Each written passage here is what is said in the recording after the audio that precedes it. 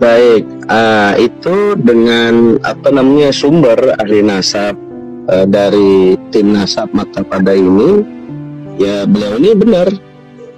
Cuman memang belum punya buku nasab karena setiap dari kalangan habaib ini uh, sebenarnya itu udah terdata. Jika orang tuanya atau kakeknya dulu ini perhatian gitu ada perhatian untuk menuliskan siapa anaknya siapa dia gitu ke atasnya bagaimana itu alhamdulillah udah tercatat. Dan abahnya ini tercatat. Wow. gitu. dari marga al habsi dari marga al habsi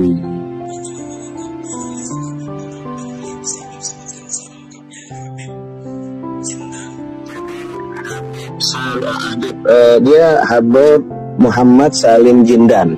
Habib Muhammad, Muhammad Jindan Jindan bin Muhammad Fuad bin Ahmad bin Muhammad Al-Habsyi. Oke, baik, baik, baik, baik, baik.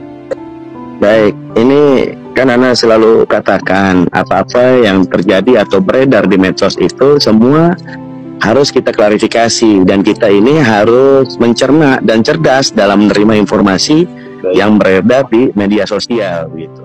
Dan yang namanya habaib itu kan manusia, ya kan? Darah dagingnya, darah dagingnya mereka itu ya tersambung kepada Rasulullah SAW. Itu itu yang kita hormati dan itu yang kita cintai.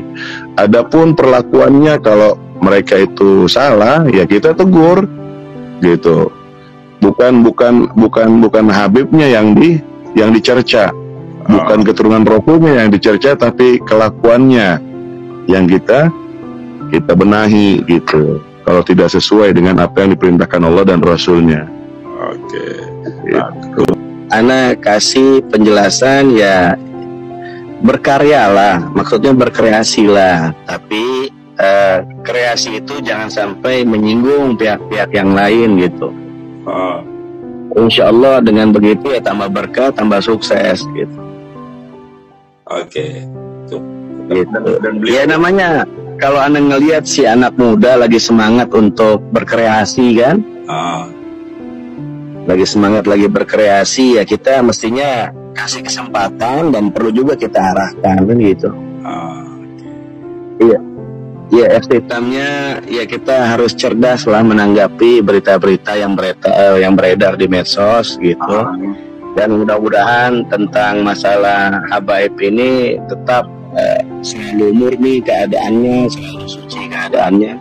Dan satu lagi kalau memang eh, apa namanya ada yang mengaku-ngaku sekarang banyak oknumnya. Ah ya, ngaku-ngaku sebagai ah, Iya, itu laporkan aja nanti biar kita klarifikasi.